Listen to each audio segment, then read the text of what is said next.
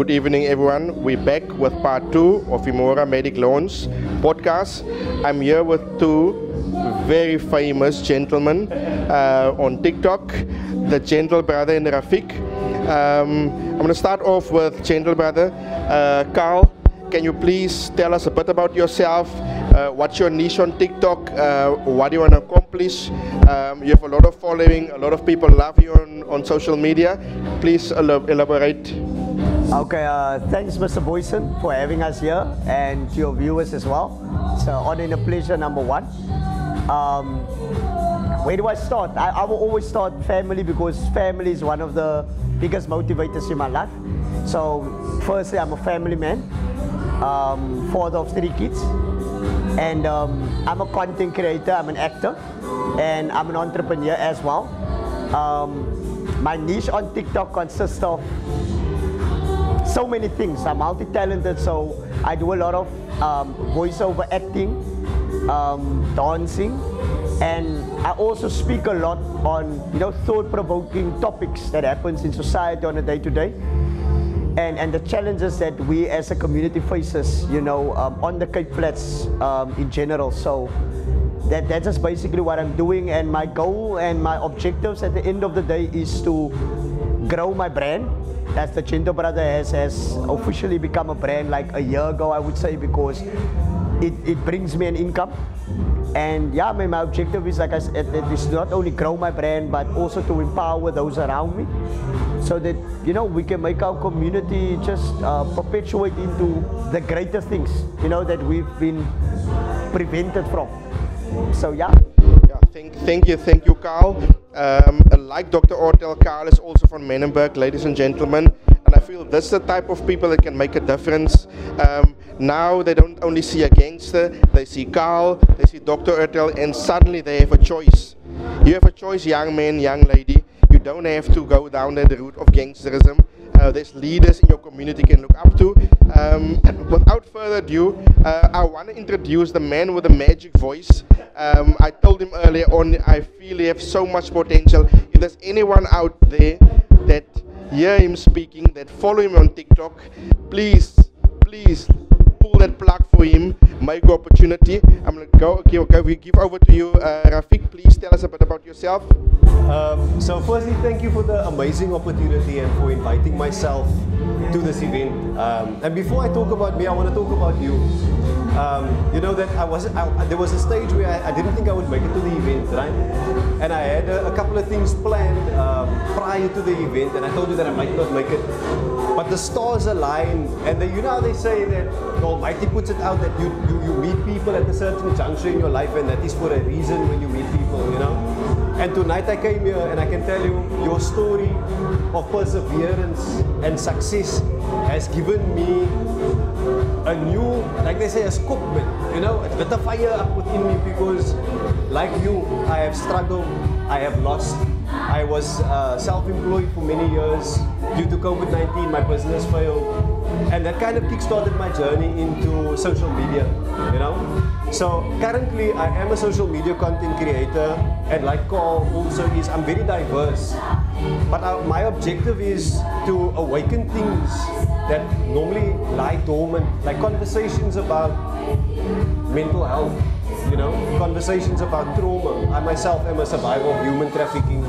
I'm a survivor of sexual abuse.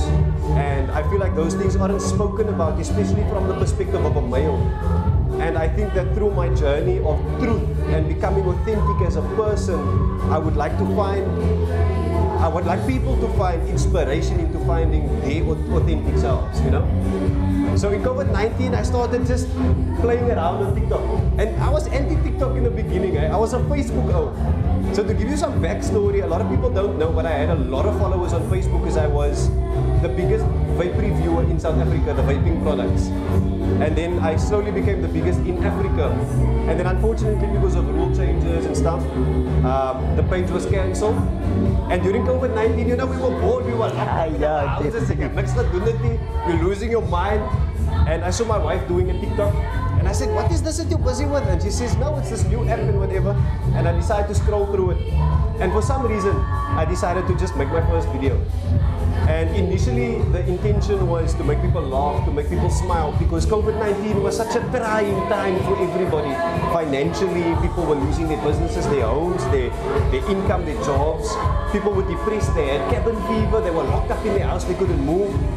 And I took a lot of relaxation and entertainment, and it, it changed my vibe, you know, watching other creators on the application. And I told my wife, I'm going to give this a shot. Is it okay with her? You know? And uh, she said, nah, go for it.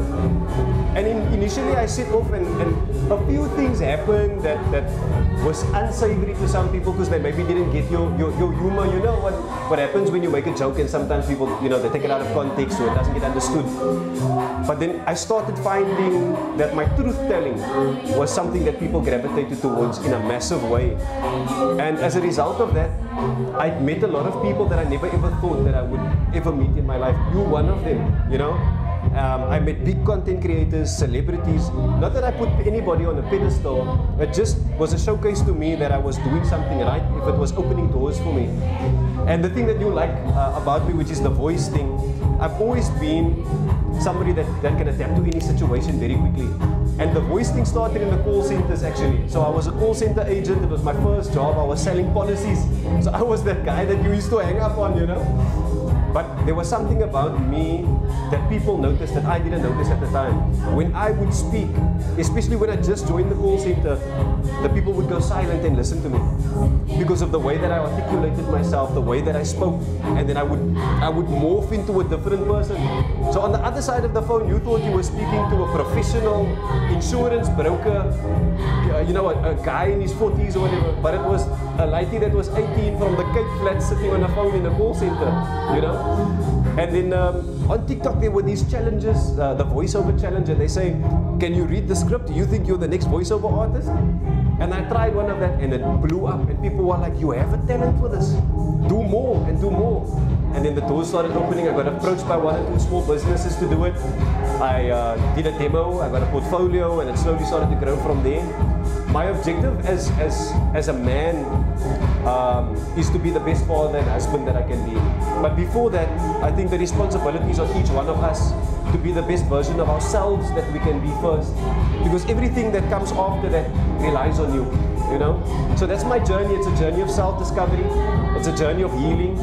And um, my end goal that I would like to achieve, I think, would be to have some sort of presence in media you know, um, a lot of people tell me you should be a radio presenter, but unfortunately, with truth telling and talking about taboos and talking about things that touch people, you become a bit of a controversial character, and people will see you as a polarizing individual. And unfortunately, big media companies don't like that and the association of the negativities attached to it. So it's, it's, it's a little bit of a touch and go for me. I'm trying to find my feet, but I'd definitely love to hear my voice on the radio, whether that is doing recorded ads for clients on the radio or actually hosting my own show. Um, I've also gotten recently into acting as well, doing the skits on the social media. I got approached by one or two media companies to do small little productions. Um, so I would just like to progress as a human being, you know, as a father, as a husband, as a content creator, as a person. But most importantly, I like to provoke thought. I like to motivate, uplift, inspire, and serve. I feel like that is my purpose as a human being. You know, I want to serve people. I want to help people. Sometimes, as, as, as, as a creator, and I think you can relate to this, people forget that you're a human being. Yeah, People yeah. forget that you make mistakes, that you get emotional, that you you know, you are doing this like everybody else mistakes, makes mistakes. You've erred in your past, you've erred in your daily life, but on social media it's magnified because everybody's eyes are on you. And sometimes in a moment of weakness, you slip, you say something, and it becomes a spectacle for everybody to see. But at the end of the day, my intentions for myself and for everybody else is to uplift, motivate, inspire, and serve. And I want to leave a message with everybody that we should all strive to be a better version of ourselves today than we were yesterday. You know? And with that, soften our hearts towards one another and, and uplift one another rather than push one another down, especially when we're on a trajectory to success. And you're the perfect example of that. You're a great embodiment of that. We are sitting here as content creators. You reached out to us. You're a man on a trajectory, and I won't, you know, make two things about this. I look up to you, and I see you as a form of inspiration. And if I can be very honest with you, before tonight, I went through a bout of depression and anxiety because I don't know where my future is. I'm finding my feet, but I'm already a father, I'm already a husband. But after hearing what you had to say about sticking to your guns, following your beliefs, chasing your dreams, making things happen and taking risks, um, it's lit a fire in me. And I want to say thank you very much. No, it's a pleasure. It's a pleasure. Um, so, so Vicky have touched a few things, uh, guys out there. Mental health is, is is very important. It's something, general brother Carl, that people don't take serious, especially in our communities. Something cry, yeah, you know, Jesus a girl, you're so girly. So, from a young age, people teach you don't show emotions as a man. It's weak, and we must stop that. We must stop teaching uh, men to hide your emotions audience, I'm not sure if you're aware, but suicide is the highest on men in this world of today because men don't show emotion. Um, I want to come back to a few things you said in terms of voiceover. So what I do, guys, I like to uplift people. I like to uplift young people, people that want to be successful in businesses. You guys must consider register on Fiverr and Upwork. You do voiceovers there on. I wish you can get opportunity um, into radio. Let me tell you, Vicky, I've been through a lot because of my personality. People don't like certain things that I've done. But I'm gonna say again, it's like this bottle of water. You buy it by the tuck shop, five rand.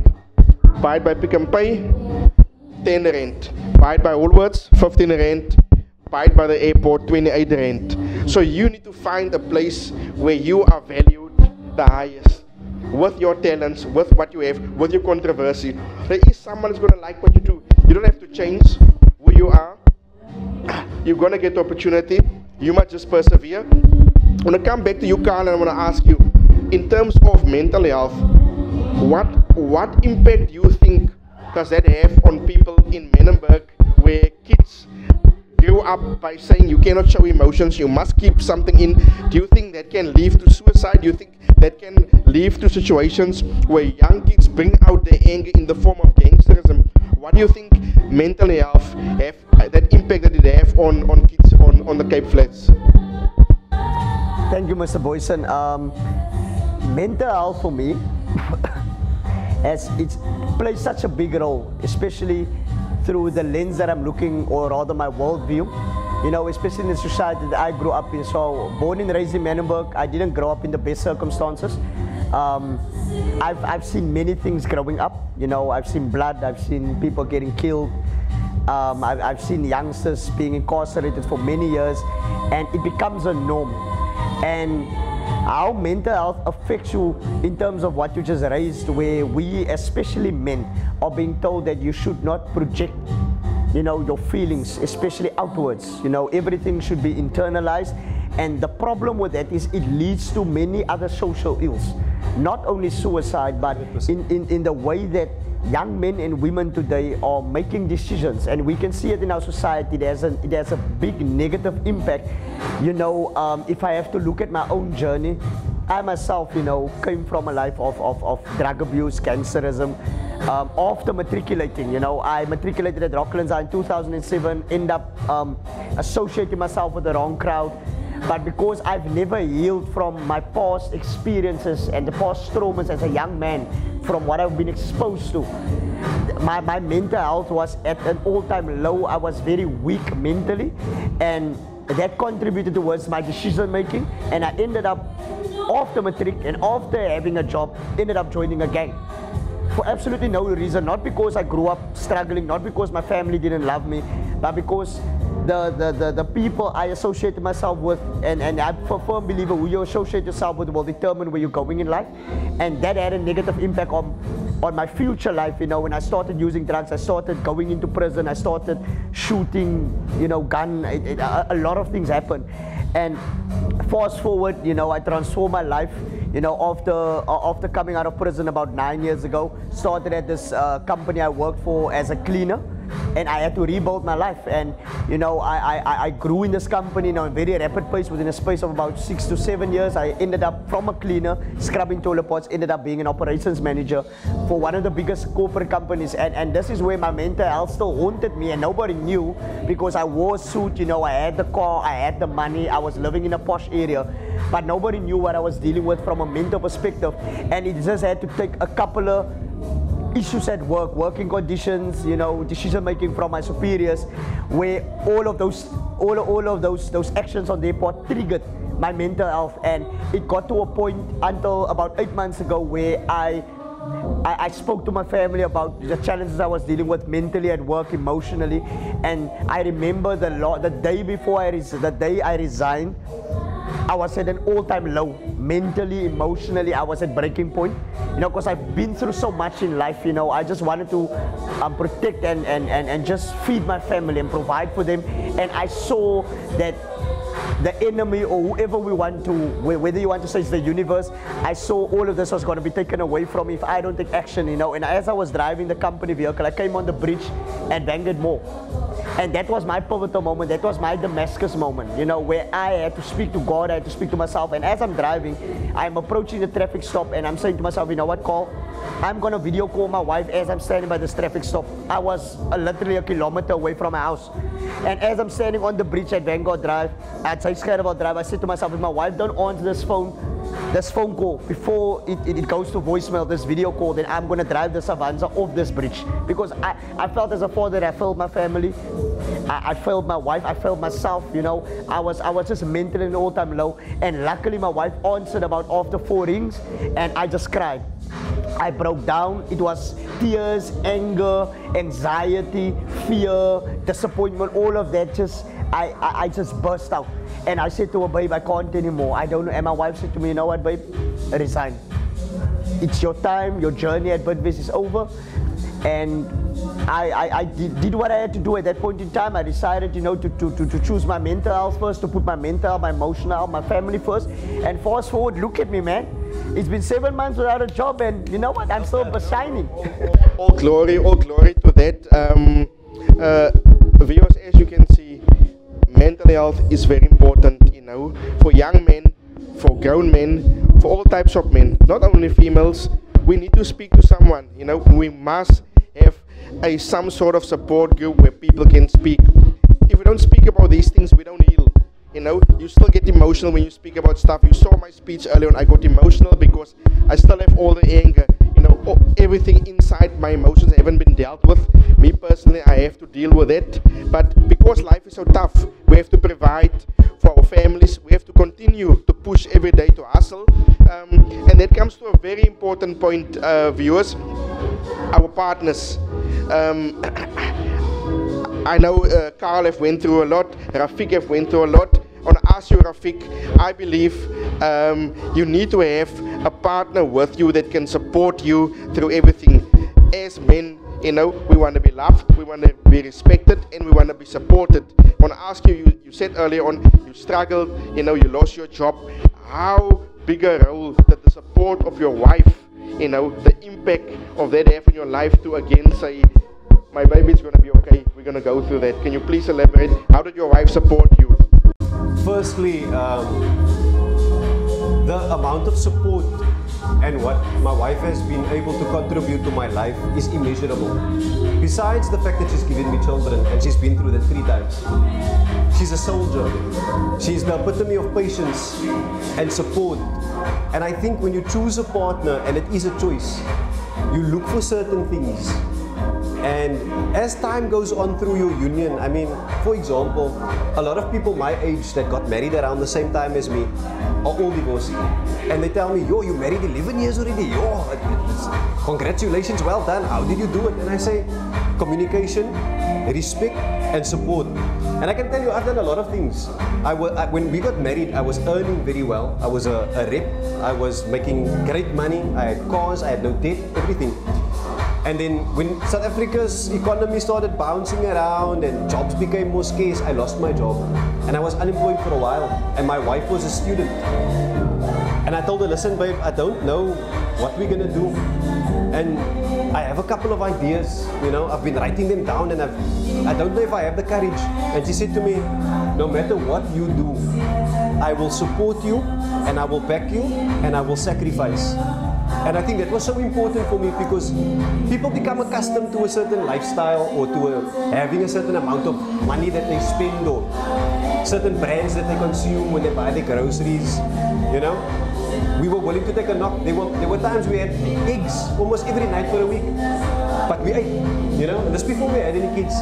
And then I started a business and I told her, Looky, I'm going to take a risk now. I need to do something with myself. But it's been a calling for me, like you said. Something calls out to you and says, This is what you are doing is not, it's not meant for you, it's not your purpose. You know, push yourself to a new level. And I did and I pushed myself hard. I mean, for an example, when I worked for a boss, I said one condition is I will never work a weekend. My weekend is my time. When I work for myself, every single day, seven days a week, around the clock, I would be working for 18 hours a day to build something until a few years later where I could have a Saturday with my family, you know? But when it comes to your mental health and having a partner, one of the most important things that you can have is communication. And some people think that communication is the ability to use your mouth to say words. Communication is an art. Communication is something that you can learn. Things like eye contact, things like repeating and, and, and answering something, not feeling entitled to someone's uh, attention. And when you say, Can I speak to you? that they can say no to that. And then when you communicate, you communicate with the right words and the right tone of voice and be open and honest. And there were times where, with my wife, I felt ashamed as a man, and I said, I don't. I sat with my head in my hands and I was crying, and I said, I don't know if I'm going to make rent this month. We either going to pay our vehicle installment, or we're going to pay rent, or we're going to buy groceries. You choose. And she's like, listen here, take a little bit of everything and we do this and we she was able to be my level head when I was all over the place. And you know when they say someone is your rock, she was literally there. And a rock, sometimes you need to be knocked upside the head with a rock to wake up and realize that you need to do certain things. She was that for me. But she was also the pillow that I could lay on when I was tired. She was that emotional safe space for me. And you know, again, coming back to mental health and talking to people, I believe that you shouldn't talk to anybody. You should speak to somebody that you trust beyond the shadow of a doubt that is not going to persecute you. They are not going to judge you. They're not going to make you feel bad for your insecurities that you are experiencing. And also, people don't always have the best intentions for you. But when you go home, the person that you lay next to, the person that you that you are with, other than your parents, that's the best person that you're best confidant, you know? And when you have a working relationship and you can compromise on certain things and there's a give and take and there's an understanding and there's a true sense of support, not for materialistic things. I'm talking about support where it counts, you know? Baby, I need you to hype me up today. I'm going in for a meeting, I'm going in for an interview. Can you you know make me a cup of coffee, dress me, iron my shirt? There's a point in my marriage where I didn't even have to tell my wife those things. She would say, Are you ready to go? I say yes. She say, That's your clear, that's your coffee, that's your tea. She kisses me on the cheek, she gives me a hug, and she says, I believe in you, you got this. And that kind So so so it means you yeah, you got the full support. Um, yes, I, I I just want to summarize what we've discussed here today uh, before we go uh, off air. Um, mental health is important. Maybe that's something that uh, with Dr. Ortel uh, anymore, a medic, we must do more for young men uh, and grown men because we all need it. Um, we need to speak to people reliable because, like I said earlier on, be careful that people don't use what they know about you to take down what's great about you. If you don't speak to the right people, if you don't confide in the right people, they will later on use that against you in the workplace. And ladies out there, life is tough. Um, I hear some ladies said, I need a man that can handle me. Life is tough for men. You go to work, you know, you must struggle, you must survive there, you know, to bring money home. Men don't want to come home to handle any woman. You want to come home to be loved you know, you want to eat a plate of food together, you want to have a laughter, and you want to have nice time with your family. Um, gentlemen, um, I, I, I, want us to have another talk again, another podcast. There's so much to talk about, you know. Um, I feel we need to support each other in whatever we do, uh, you know whether it's our content creating, whether it's our business, whether it's starting a new business or new venture, let's support ourselves. Let's take this relationship beyond just podcasts, beyond this launch. Tonight, um, I'm always available, you know, to assist, to talk, to connect. Let's do that. I want to thank you for your time. Um, and again, um, I wish you guys all of the best uh, for your future endeavors. Thank you, thank you, thank you so much.